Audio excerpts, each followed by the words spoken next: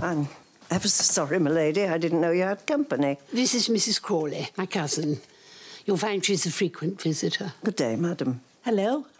Denker is my new maid. She's trying to find her way around. Did you have a question, Denker? It can wait, my lady.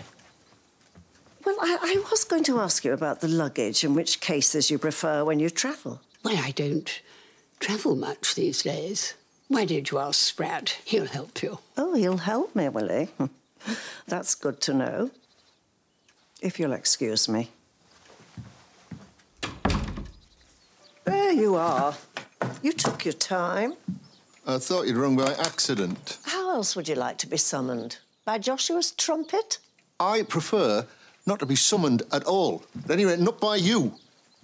Take these down to the car. I'm going to fetch her galoshes and umbrella.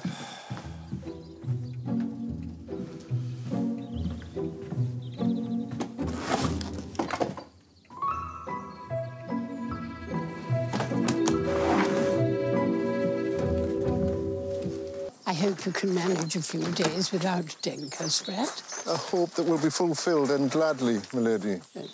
Are these all the cases, Denker? Your ladyship is very sharp-eyed. We are missing one.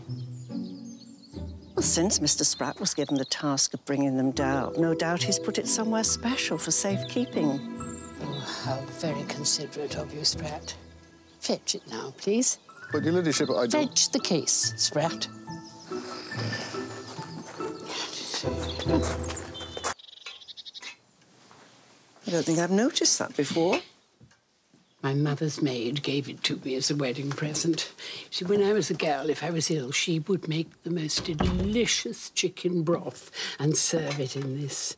There's nothing better than chicken broth as a pick-me-up. No, and it really was delicious. I remember it to this day. She used to say every good lady's maid should know how to make a restorative broth. Those days are gone, I'm afraid. Quite gone. Hey, Miss Denker. I'm not sure I'd agree. Spratt, you mustn't be jealous when Denker is saying she can cook. I was not so much jealous as dubious, my lady. You'll have to prove him wrong one day, Denker. Yes, prove me wrong and make us all a delicious broth. Well, we'll see. That's right. Seeing is believing. Hey, Miss Denker.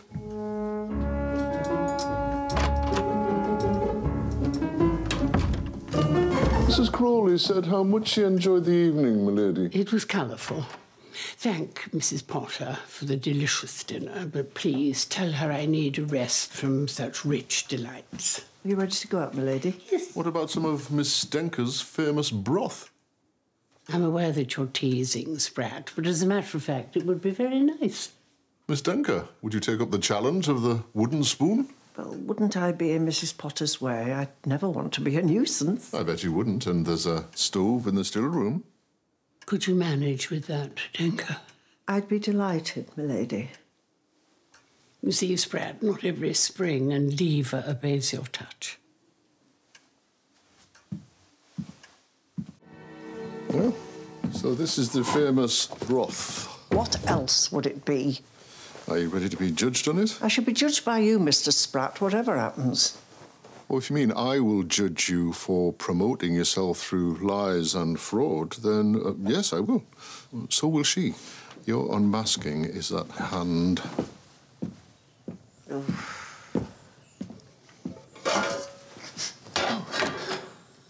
God in heaven. Oh, Denker. Oh, I was talking menus with Mrs. Potter, and Spratt reminded me about the broth. He didn't want your efforts to be overlooked. I'm sure he didn't. Not a chance. Of course, the proof of the pudding is in the eating, my lady. Indeed. So, may I taste it? Thank you. Thank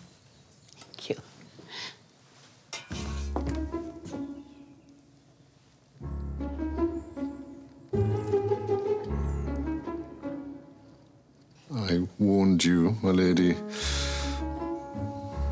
It is delicious.